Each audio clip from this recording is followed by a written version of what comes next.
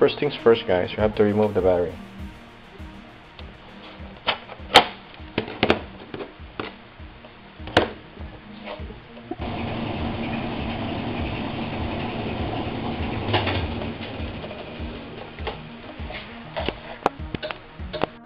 First guys is we're going to release the keyboard. They're like latches here. They're they're like so small. All you have to do is just push them away from the keyboard. Well, actually, in fact, I just use the. It's a lot better.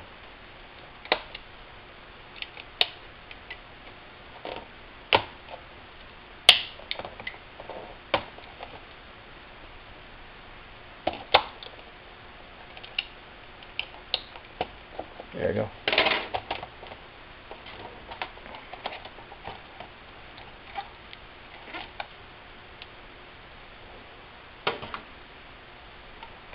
Loosen this part here.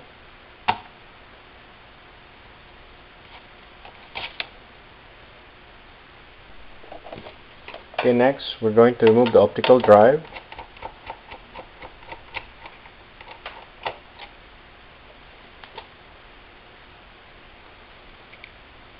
then just push this out here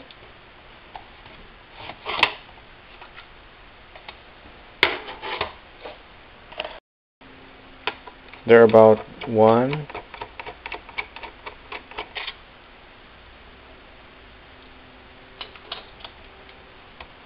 Two.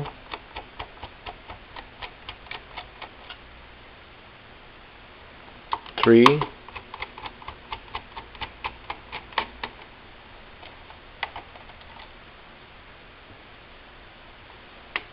Four anchor screws on the top chassis.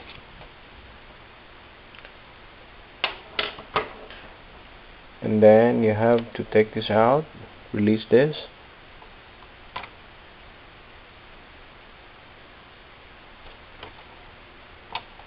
Two flat ribbon wires.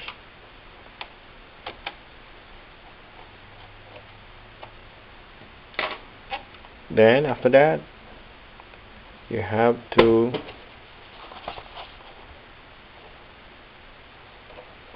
okay then we are going to remove the hard drive.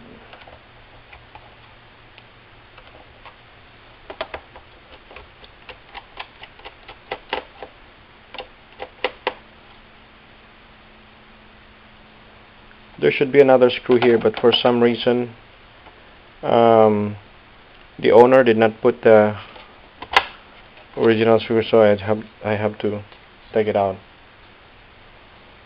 oops I think they put the screw first before the cover so I'll take this out.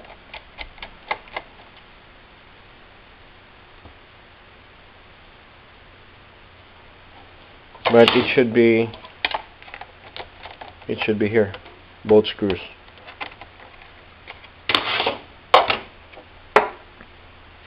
And then you can remove the hard drive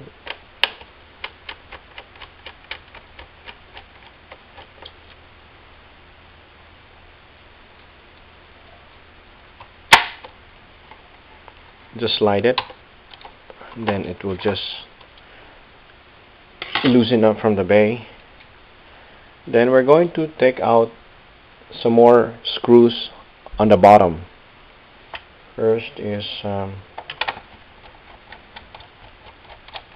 I'm gonna count the screws okay? There's one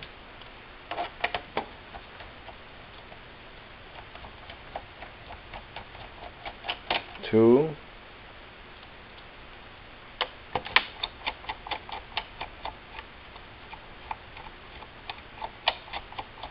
three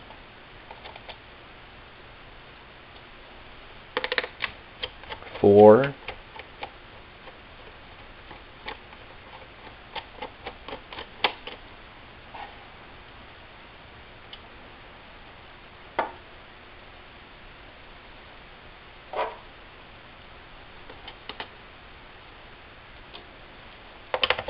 Five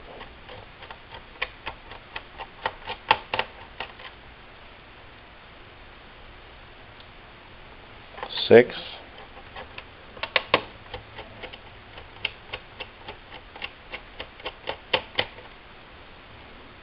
And then there's two more here on the edge.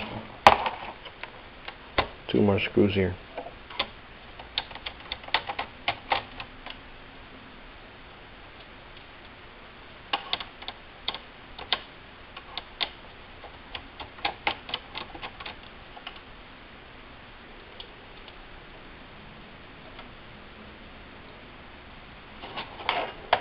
okay where else? There's another one here.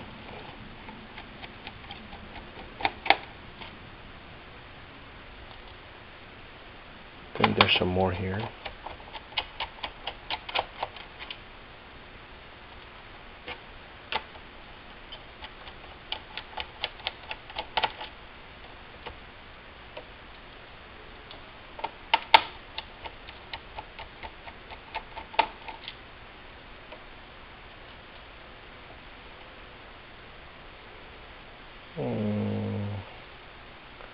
I guess that's about it.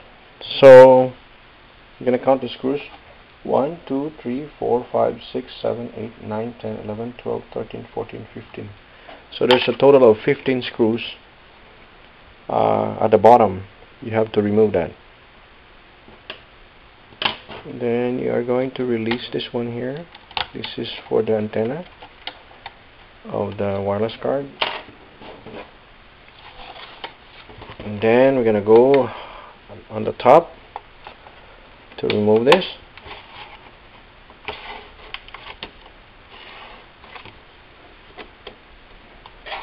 You may want to use a uh, spudger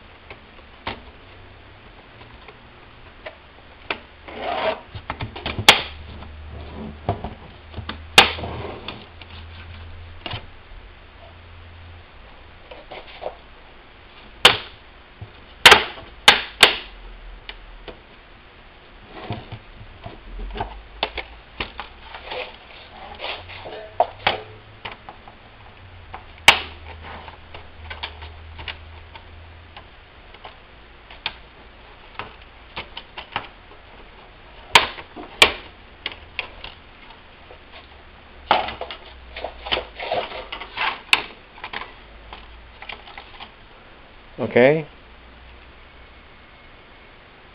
Now everything is accessible right now. We're gonna take out the, the LCD screen. There are about two screws on its hinge.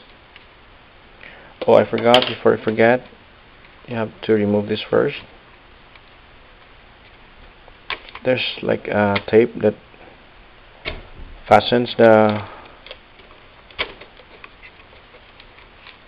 the data or video cable to the system board take that out and then slide this.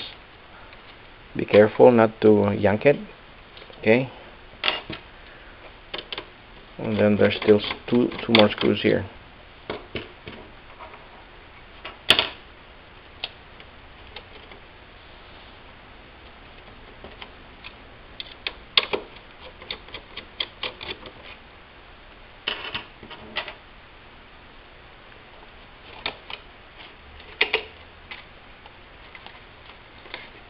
remember we loosened it earlier? This part here you should loosen it otherwise you cannot take it out. And there's another one here.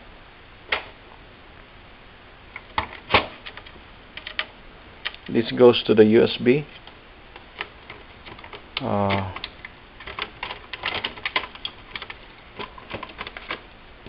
oops you have to take out another anchor screw that holds the CPU fan assembly onto the bottom chassis.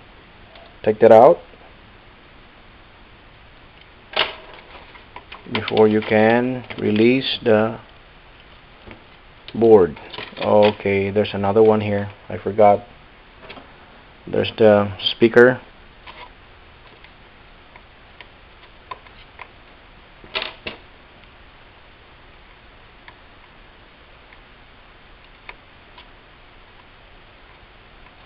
please note how I, I take out those uh, small connectors. I don't pull it from by the wires. Otherwise you're gonna break it. Push push it away from the socket using a spudger on the flanges. Okay? Okay so okay then uh, after that you see this part here? The wires are like fastened to the that's why you have to remove the system board first before taking this out. Very unusual design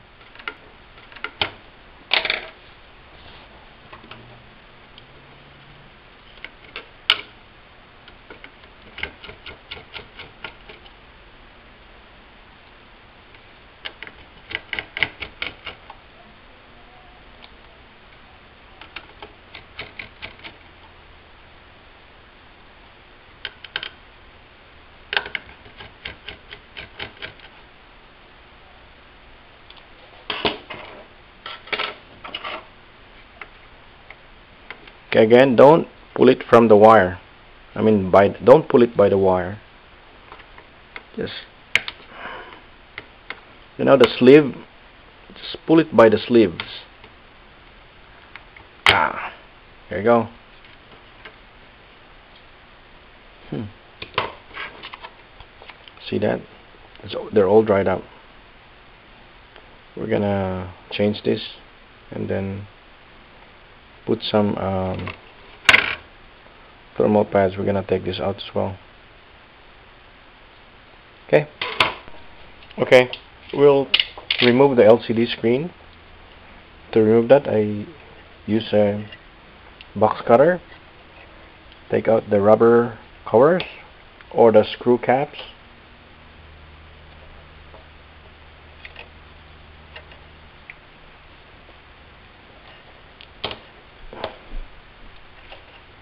These usually screw caps are on the bottom before taking out the screws.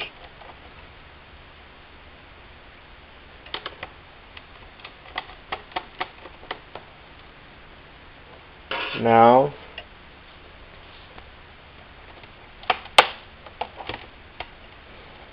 with the use of your uh, prying tool or the spudger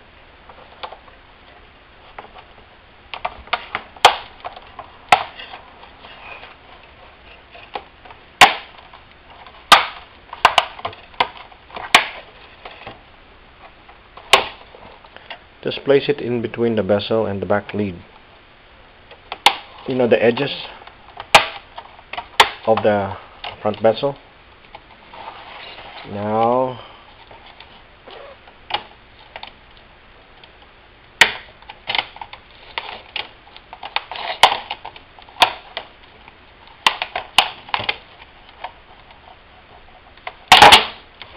there you go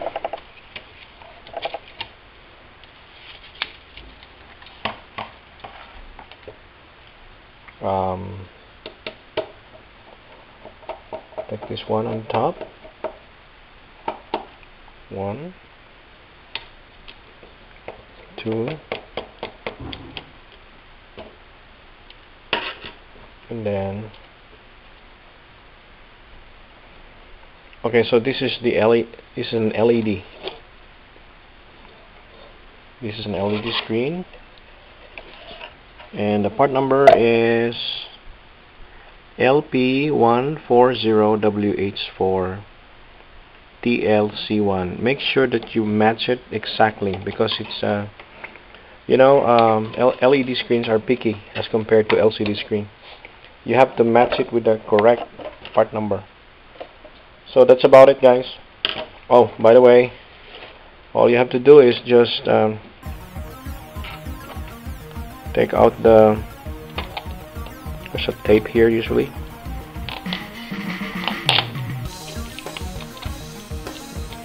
And then uh, remove this. Be sure not to press this part here because this is the electronic board. Okay? So that's it guys